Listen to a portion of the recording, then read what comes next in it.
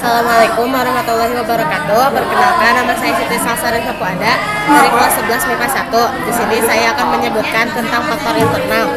Satu, tidak seimbang antara hak dan kewajiban. Dua, tidak memahami tentang HAM. Dan yang ketiga, sikap individual. Demikian yang saya dapat sampaikan. Wassalamualaikum warahmatullahi wabarakatuh.